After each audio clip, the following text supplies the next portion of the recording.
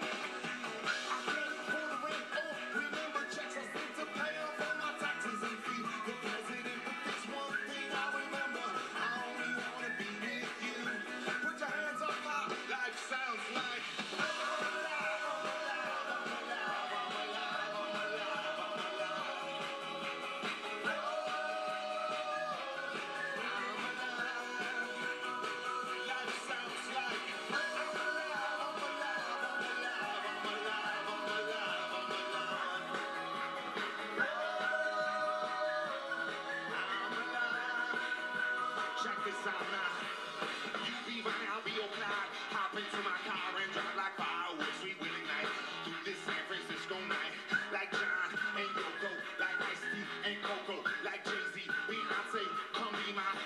fiance,